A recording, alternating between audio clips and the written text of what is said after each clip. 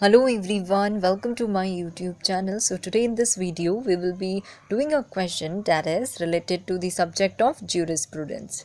The first question is that H.L.A. Hart is from which law school?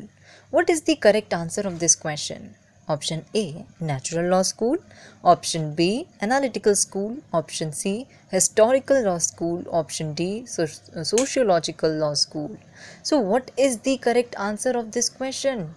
H L A Hart कौन से law school से हैं? So so, इसका correct answer क्या है?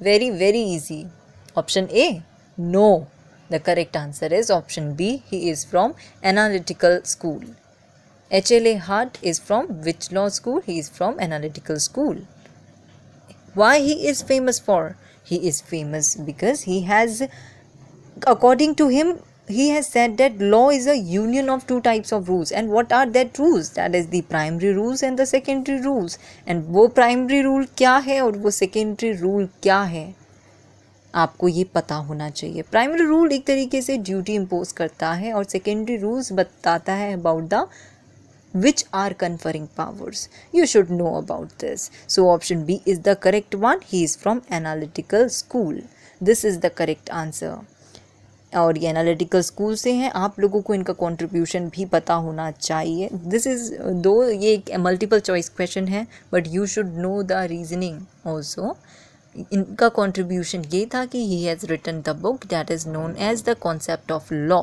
and that is very much famous and you should know the criticism of H L A Hart also क्या criticism है उनका?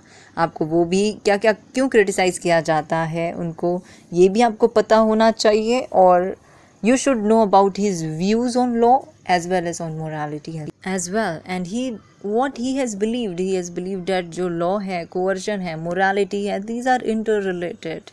You people should know about this. And if you have any doubt, do let me know below in the comment box and do like and subscribe my YouTube channel for more videos. Thank you so much for watching this video.